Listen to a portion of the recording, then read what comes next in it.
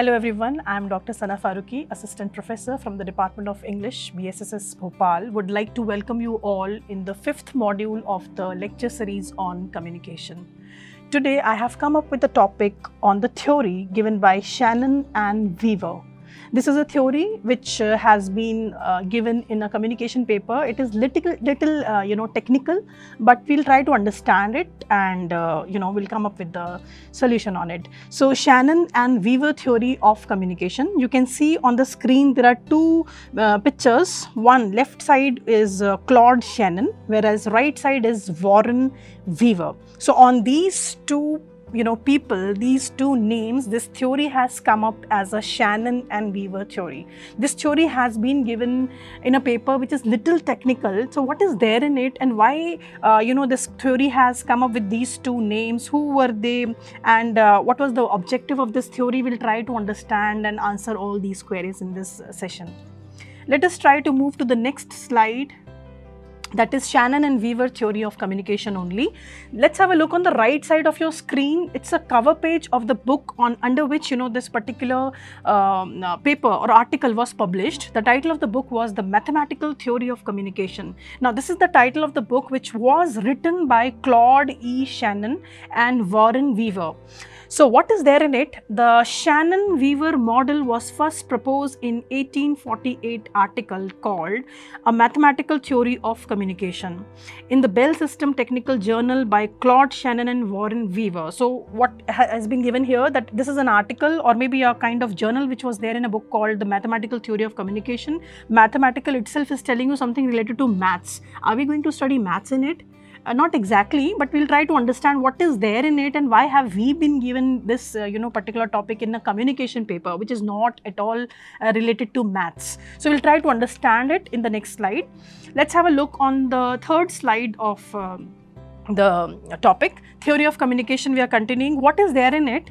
Mathematical theory of communication that argues that human communication can be broken into six key concepts.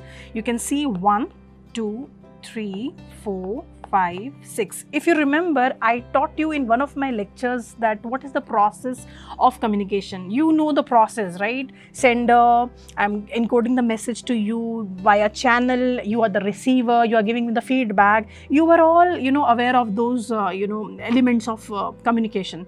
But here we have been given one more term which was not told to you in the process of communication. That is the reason this topic is different from the process. This is noise. So what is there in noise?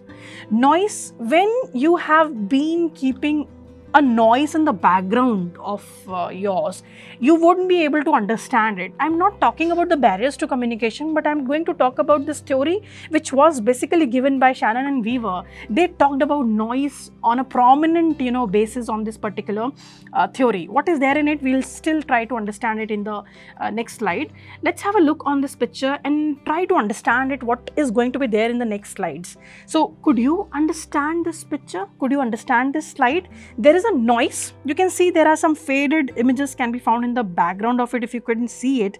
Encode, uh, you know, transmit, receive, decode, interpret. There is a picture, there is a process. But if you have noise in the background, you may not be able to understand any message. I am teaching you, but at the back, if there is a noise, you won't be able to understand me. Uh, so we will try to understand that why this term has been given by Shannon and Weaver in this theory. This picture is exactly telling you what is there as a gist of this entire theory. Let's have a look on the next slide a later version of the theory by Norbert Wiener. Again, this is an important name because he's the one who came up with the word, the uh, you know seventh element called feedback. So he added the seventh concept called feedback, uh, which uh, changed the model of from linear to cyclical. So you can see again there is a picture um, sender encoder, third one is channel, fourth is noise we are talking about here and then decoder and receiver and feedback. So the seventh term was given by Norbert Wiener and um, yes we are going to talk about uh, uh, theory only. Let's have a look on the next slide. This one is yeah what is it? It is known as the mother of all models. Now this, this theory has been known as the mother of all the models. There are various models given under communication. We are going to focus on this particular uh, you know model because it has come up with the mother of all models. So because of its wide popularity, it's a very famous theory given by Shannon and Weaver. Now what is there in it? This can be, uh, you know, um, uh, known as or named as with many theories. Let's have a look on the bullet. The model is also known as information theory or the Shannon theory or the Shannon-Claude theory. Now, what is it? Claude Shannon was the main person who developed the theory. I told you in the beginning of the lecture that there are two people who gave, came up with this theory called Shannon and Weaver. But I want to tell you now that Shannon was the one who prominently worked on it this, uh, on this theory and uh, that is the reason we call this theory as a Shannon theory also. Next point is saying the model's primarily value is explaining how messages are lost and distorted in the process of communication. Sometimes whatever I'm trying to say and explain you, the message can be lost. What is the reason? The reason being uh, the noise in the background. So this is what, you know, Shannon wanted to convey in his theory it would be more clear if we'll go with the next slide. Uh, you can see the picture. Uh, it's a very simple linear pattern of communication where we have been given sender and then the uh, channel is there. It can be verbal, it can be non-verbal and then there is a message and then again a channel via channel that message has been uh, reaching to the receiver. We all know this is the process but what is there in the background? Just focus on the background of it. Noise, noise, noise, noise, noise. If there is a noise at the background, communication would uh, you know not be possible and this is what the theory has come up. So the Shannon and Weaver model of linear model of communication that provides a framework for analyzing how messages are sent and received. So noise we have to focus under this theory. Next bullet, next um, slide is talking about the theory itself. Uh, it is the best known for its ability to explain how messages can be mixed up and misinterpreted in the process between sending, receiving the message. Sometimes what happened, you know, messages are misinterpreted maybe I am trying to tell you something, but you are understanding it in a different way. Oh, maybe you have been responding my message and I am not getting what you are saying. So somewhere, you know, misinterpretations can also be found in any of the stages. Again, this is also one of the features of uh, uh, Shannon-Weaver theory of uh, communication. Next bullet is saying Shannon in his famous article called A Mathematical Theory of Communication, remember this is the name of that um, book, where he outlined the theory, explained what the goal of his model was. So in this book, he came up with the goal, the objective of this theory, what was it? Now I want to quote uh, these lines from the book. The fundamental problem of communication is that of reproducing message sent from one point either exactly or approximately to other point. So this is given by Shannon uh, which uh, from the book which was published in 1948 page number uh, 379. If you want to quote it you can quote it you would definitely get good marks if you you know directly quote from the book. So what is there in it? Uh, you know this method using this mathematical theory of communication he hoped to more effectively identify those pressure points where communication is distorted. What are the points? What are the points in which you know communication gets distorted sometimes? We need to focus on those points in this particular theory. Let us have a look on the next uh, slide. Shannon and Weaver. Now, in this particular slide, we actually want to understand and we are going to understand Shannon and Weaver, okay, and compare them. So, Shannon and Weaver are both from United States and Claude Shannon was a mathematician. So you can see his field was uh, maths. You know, he has come up with a um, you know mathematical field, and he was a great mathematician. That is the reason the entire theory, that is mathematical theory, also called you know this for this theory. This that is also the term. Uh, so uh, uh, Claude Shannon was a mathematician, whereas Warren Weaver was an electrical engineer. So he came up, he joined this theory because he wanted to put focus more on gadgets. You know, when we talk on phone, when we uh, communicate on gadgets. So sometimes uh, because of poor technical, uh, you know, uh, help, message cannot be reached on time. So this is, you know, he came up with that technical point in it because he was an electrical engineer. So next point is, many believe this mathematical theory of communication was mainly developed by Claude Shannon alone and Warren Weaver had a minimal role. As I told you in the previous slide that, you know, Claude Shannon, on his name only, uh, you know, this theory, uh, most of the websites would tell you that on his name this theory would come up if you would search it because Warren Weaver had a minimal, uh, you know, role in it. Now, it is often simply called as the Shannon information theory in science discipline. Now, what is the next point? Shannon developed the theory to imp uh, improve understanding of communication via telephone, eventually improve the quality of phones. Now, this topic, uh, mm, this theory has come up with uh, a mathematician and electrical engineer, but we have been trying to understand it in English communication paper because somewhere we have taken it in a very general way. Just have a look on the last point. It was later used as a general theory of communication. So, we have been taking without focusing on the gadgets or technicality of that particular theory, we are just absorbing it and trying to understand that somewhere if no matter the platform is offline, online, technical, non-technical, but if there is a noise at the background, it would be difficult for the sender to you know send the message to the receiver. So, we have been keeping up uh, this theory as a general uh, theory of communication. Now, this uh, again this picture would uh, make us you know understand this theory in a very easier way. There is a sender who has been encoding the message via channel and somebody i mean the receiver is decoding the message and this is a receiver but somewhere this channel has been uh, disturbed by noise in it. So we need to focus on noise because this was not there when we were studying process of communication. So noise is the main gist of this theory. Okay?